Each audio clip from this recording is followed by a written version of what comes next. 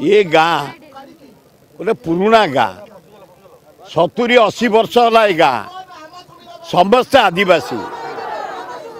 ଏ ଗାଁ ଭିତରେ ଗୋଟେ ରାସ୍ତା ନେବା ପାଇଁ ବସିଛନ୍ତି। ଦୁଇ ହଜାର ଚଉଦରେ ଗୋଟେ ରାସ୍ତା ଯାଉଥିଲା। ସେଇ ରାସ୍ତାକୁ କେତେ ଗୁଡ଼ିଏ ଅଫିସର ଶିଳ୍ପପତି ଧରାଧରି କରି ସେ ରାସ୍ତାକୁ ବନ୍ଦ କରି ଏ ରାସ୍ତାକୁ ନେବେ ବୋଲି ବସିଛନ୍ତି ବସିଛନ୍ତି। ତେଣୁ ଆମେ ଦଳ ମତ ନିର୍ବିଶେଷରେ। ଯେତେ ଭାଇ ଭଉଣୀ ଯୁବକ ଛାତ୍ର ମା ଭଉଣୀ ସବୁ ଗୋଟିଏ। ଦଳ ଫଳ ଏଠି ନାହିଁ।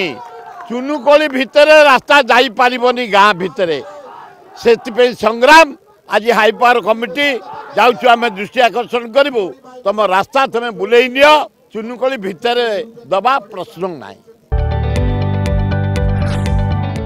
जदि आपण को आम भिडी भल लगा तेब आम चेल्क लाइक सेयार और सब्सक्राइब करने को जमा भी बुलां नहीं।